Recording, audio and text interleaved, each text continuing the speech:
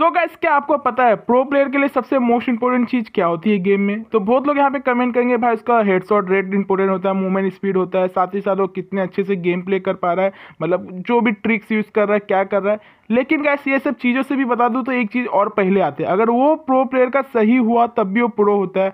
अगर वो गलत हुआ तो नूब होता है। अब वो है गैस आप लोगों का सेटिंग अगर आपके गेम का सेटिंग ही पूरा गलत है तो आप लोग कितना भी अच्छा खेल लो, आप गेम में हगोगे। लेकिन अब अब टेंशन की बात नहीं है। आपका भाई आप लोग के लिए मोस्ट इंपॉर्टेंट वीडियो लेके आ चुका है। प्रिसिशन सबसे डाउट होता है कि भाई इसमें डिफ़ॉल्ट रखना है कि फुल कंट्रोल में रखना है। तो ये चीज़ें कि आज आप लोगों का टेंशन पूरा खत्म हो जाएगा। इस वीडियो के एंड तक आपको पूरे के पूरे डिटेल्स मिल जाएँगे। कि किसका क्या काम होता है, आपको क्या रखना चाहिए। तो बस वीडियो के एंड तक देखना है और अपने सुंदर हाथों से, अपने अच्छे मन से इस वीडियो को लाइक एंड चैनल को सब्सक्राइब कर लेना है, जो फ्यूचर में आपको ऐसे नॉलेज वीडियो मिलेगी, जो कि आप लोग के लिए बहुत ही हेल्पफुल होगी।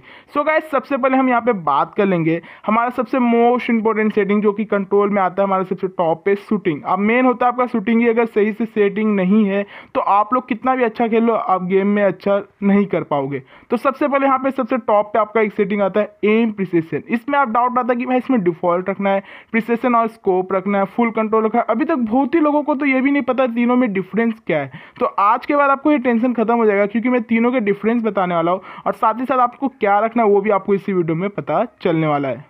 तो गैस इसे अच्छे से समझाने के लिए मैं ट्रेनिंग ग्राउंड में आ चुका हूँ और सबसे पहले यहाँ पे हम लोग सेटिंग में कर देते हैं डिफ़ॉल्ट अब डिफ़ॉल्ट करने के बाद क्या अंतर होता है मैं आपको दिखाता हूँ. गैस अभी देख सकते हो मेरा एम जो आप लोग देख रहे हो रेड कलर व्हाइट कलर का जो भी दिख रहा है, जैसे ये देख सकते हो कैरेक्टर से कितना दूर है, आप लोग खुद देख सकते हो. लेकिन जैसे मैं फायर करूँगा तो ऑटोमेटिक वो कैरेक्टर के बीच में एम हो जाएगा. देख सकते हैं मैं कितना दूर रखा चाहे मैं ऊपर रखूँ इतना दूर होने के बाद भी वो बीच में ऑटोमेटिक एम हो जाएगा, चाहे मैं नीचे रखूँ। ऑटोमेटिक बीच में वो एम हो जा रहा है, जो कि मैं खुद नहीं कर रहा हूँ, ये गेम ऑटोमेटिक डिफ़ॉल्ट में हो जा रहा है। और साथ ही साथ अगर मैं स्कोप ऑन करके भी रखता हूँ लाइक मैंने इतना दूर रखा है स्कोप ऑन करके, आप लोग देख सकते हो तो ऑटोमेटिक वो मेरा एम उस पर चला जाता है। मैं यहाँ पर ऑन करूँगा, ये ऑटोमेटिक यहाँ पे चला जाएगा। मैं ऊपर ऑन करूँगा ऑटोमेटिक मेरा बीच में एम चला जाएगा। चाहे मैं नीचे यहाँ ऑन करूँगा ऑटोमेटिक मेरा बीच में चला जाएगा। तो डिफ़ॉल्ट सेटिंग सबसे बेस्ट सेटिंग होगी आप लोगों के लिए कि इसमें अगर आप लोगों का बाई चांस एम नहीं भी लग रहा है आजू बाजू आपका एम है, या आप लोग स्कोप ऑन करके भी किसी एनिमी पे एम लगा रहे हो और आपका एम दूर है लाइक मेरा भी दूर है माई चांस तो जैसे मैं स्कोप ऑन करूँगा ऑटोमेटिक मेरा वो एम डायरेक्ट वो जो सामने वाला होगा, बंदा एनिमी उस पर चला जाएगा। यहाँ पे मैं आपको दिखा देता हूँ, यहाँ पे मैं फायर कर रहा हूँ, इतना दूर है जबकि बट मेरा एम ऑटोमेटिक वहाँ पे स्विच हो जाएगा, देख सकते हो? तो इससे डिफ़ॉल्ट सेटिंग करते हैं कि आपका एम अगर थोड़ा सा भी दूर है और आप लोग अगर स्कोप में भी अगर आपका एम दूर है तो ऑटोमेटिक वहाँ पे चला जाता है। तो ये सबसे बेस्ट सेटिंग हो जाता है जिनको बिगनर से। और साथ ही साथ अब बात करते हैं सेकेंड सेटिंग की, जो कि यहाँ पे प्रीसेस ऑन स्कोप तो गाइज़ ये same to same default setting जैसा होता है। लाइक मेरा इतना दूर एम है, पर ऑटोमेटिक बीच में जा रहा है। इतना दूर एम है ऑटोमेटिक बीच में जा रहा है। इतना दूर एम है ऑटोमेटिक बीच में जा रहा है। फिर आप बोलोगे, भाई, दोनों में फिर डिफरेंस ही नहीं है। तो फिर फ़ायदा क्या हुआ?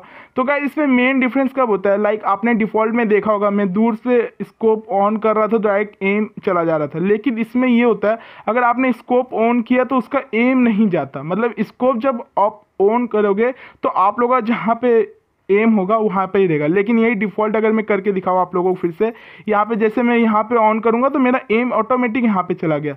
बट यही प्रिस्क्राइब स्कोप में अगर आप लोग यहाँ पे स्कोप ऑन करके रखोगे, देख सकते हो तो मेरा एम उसी जगह पे रहेगा जहाँ पे मैंने इसको स्कोप को एम लगा के रखा है। तो ये थोड़ा डिफरेंस आ जाता है दोनों के बीच में।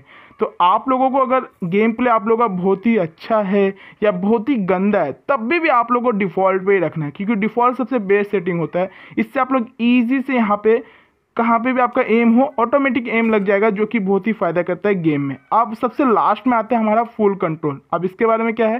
तो फुल कंट्रोल मतलब पूरा का पूरा आप पे डिपेंड करता है। अगर आपका एम थोड़ा सा भी दूर होगा लाइक देख सकते हो, इतना दूर है मेरे से, हल्का सा दूर है, तब भी मेरा एम नहीं लगेगा। यही डिफ़ॉल्ट रहता तो ऑटोमेटिक लग जाता।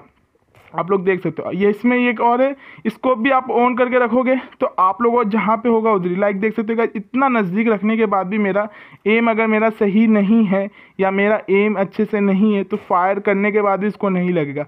बट इसी जगह पे अगर मेरा डिफ़ॉल्ट होता तो मेरा एम चाहे इतना दूर होता ईजी से लग जाता। तो इसके लिए आपको सबसे बेस्ट सेटिंग करके रखना है इसमें डिफ़ॉल्ट तो आप लोगों के लिए सबसे बेस्ट यहाँ पे एम प्रिसेसर में डिफ़ॉल्ट ही होने वाला है। चाहे आपने अभी गेम स्टार्ट किया हो, या आप इतने साल से गेम खेल रहे हो। क्योंकि ये बहुत ही ओपी होता है, इसमें ऑटोमेटिक आपका एम लग जाता है। अगर आपका एम दूर भी होता है, चाहे स्कोप ऑन में या आप लोग का स्कोप ऑफ़ में। तो ज़्यादा प्लेयर यही यूज़ करते तो आप भी जो से यूज़ किया करो। साथ ही साथ कमेंट में जो बताना, आप कौन सी सेटिंग को यूज़ करते हो डिफ़ॉल्ट को या फुल कंट्रोल को। साथ ही साथ गैस मैंने इस पर फुल डिटेल भी बनाया फुल कंट्रोल सेटिंग्स पे कि क्या कुछ रखना चाहिए। अगर आपने वीडियो नहीं देखी होगी तो डिस्क्रिप्शन कमेंट में जो से चेकआउट कर लेना लिंक मिल जाएगा। उससे आपको और फ़ायदा हो जाएगा सेटिंग्स के बारे में और अच्छा खासा डिटेल आपको मिल जाएगा।